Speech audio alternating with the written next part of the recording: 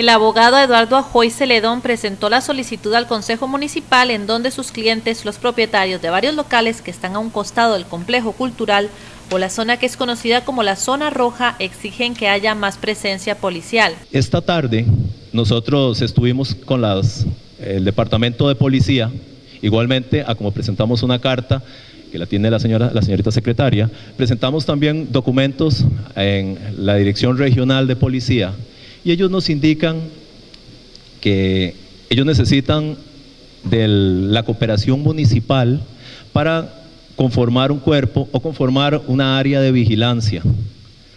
Nosotros eh, realmente eh, preocupados por la situación, porque los bienes, el bien inmueble de mi representado está siendo destruido. Este año ha costado varias veces reparar las, las reparar las cortinas, pintar nuevamente y obviamente el temor que tenemos a que este inmueble se desocupe.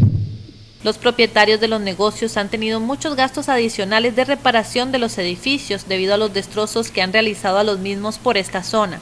Incluso al parecer se realizan compra y venta de drogas, pero no tienen pruebas de ello. Personas que habitan esta área nos manifiesten que la poca presencia policial ha causado que en, este, en, estos, en este bar, eh, y en una cuartería que hay a la par, se cometan actos ilícitos.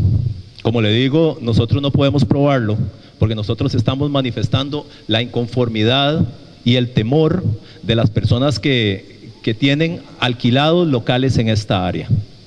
Nosotros nos presentamos ante ustedes eh, de la forma más humilde a solicitarles que si fuese posible nos brinden ayuda teniendo una colaboración con las fuerzas policiales, porque además de el daño que se nos está generando a nosotros, también es una parte de Pérez Celedón muy céntrica, la cual también, eh, Singón nos dijo la policía hoy, es la zona roja.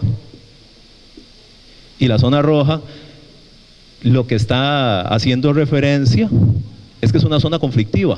El abogado argumentó que ya las personas por temor a la zona no quieren alquilar los locales y además los que lo hacen no están por la labor de seguir si la situación no cambia.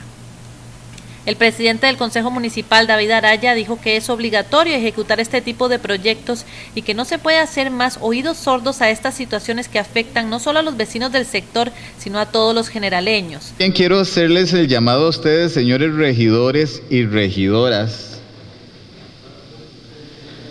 a que de una vez por todas definamos el destino específico de los 200 millones de colones que sobraron, producto del incremento salarial fallido de parte de los señores de la administración. Ustedes saben que esa escala se suspendió y ya saben que el Tribunal eh, Contencioso Administrativo rechazó la gestión.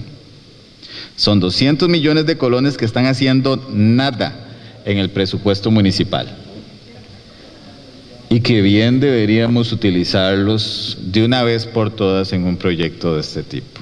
Araya además manifestó que esta problemática es necesario ponerla como prioridad, pues es algo más relacionado con falta de voluntad y atención.